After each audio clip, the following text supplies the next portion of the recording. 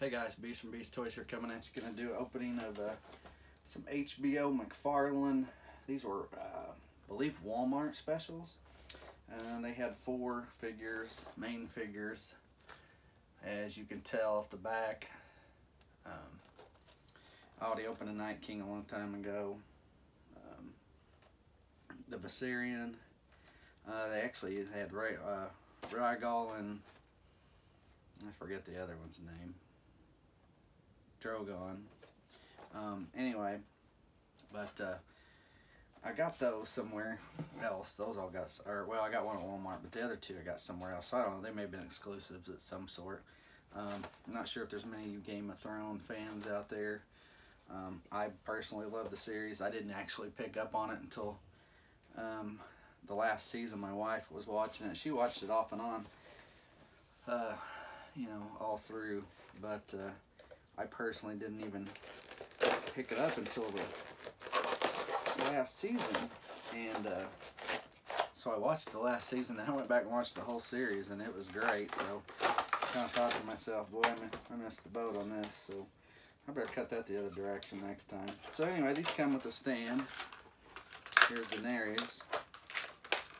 Come with a stand for them. I've got a place in my bottom of my uh, at the bottom of my got a they smell funny. Mm.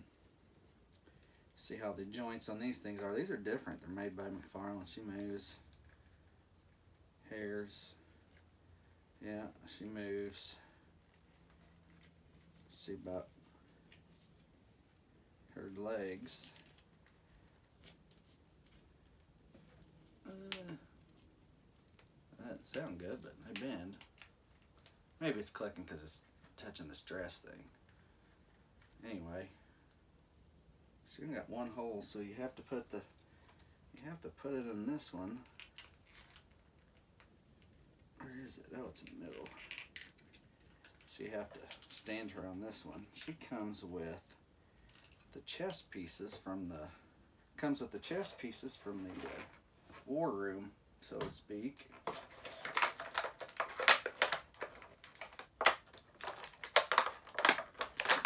Ow! Hmm, that's smarted. There's a horse head, like a chess piece, and then this thing, stinking. It's got little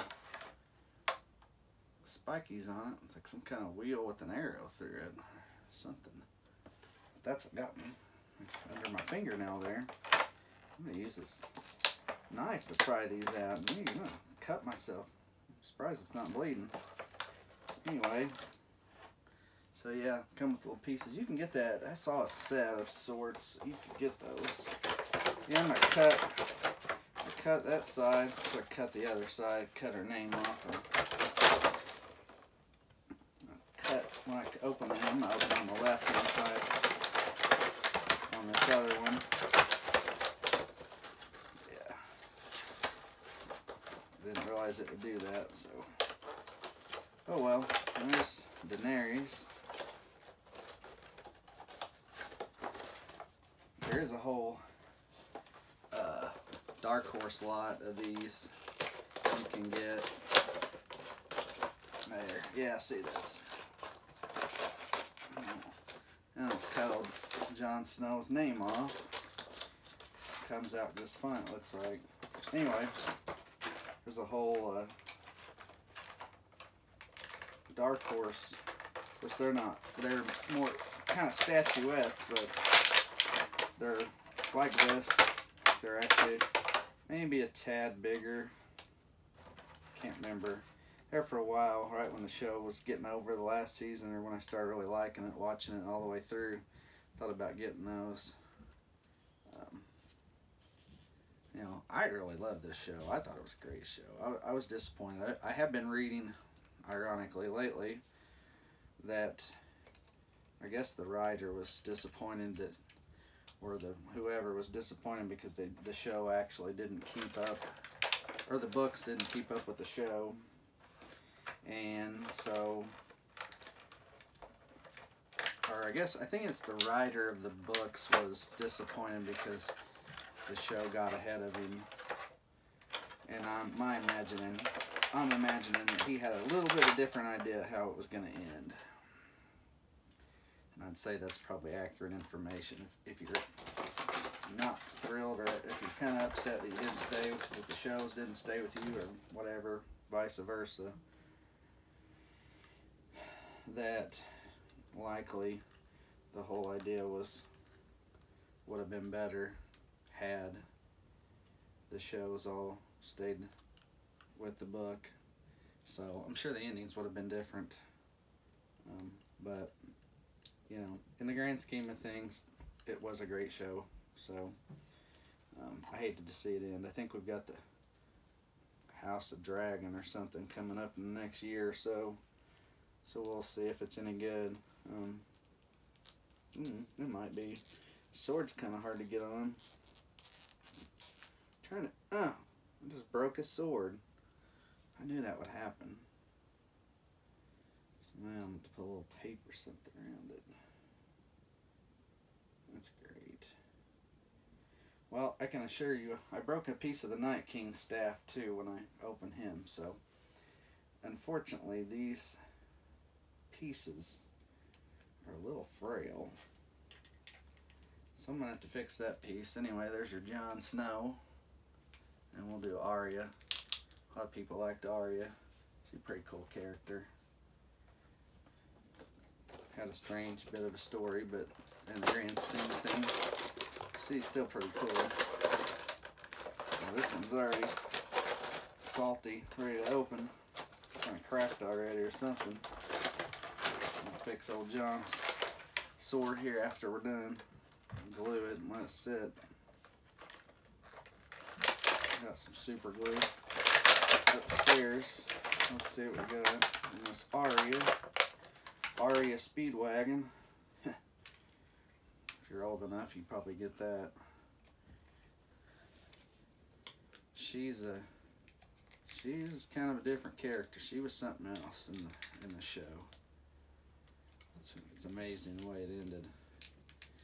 I'm I'm not, and I would say I'm not a in the least bit surprised the way it ended and what Arya did at the end. So I won't, I won't say, just in case you're a GOT fan, and you, I would imagine if you're a GOT fan, or you're, unless you're, okay, so we'll say this, if you're new and you're thinking about watching it, I would highly recommend watching, binge watching the whole series. It was a very, very, very good series.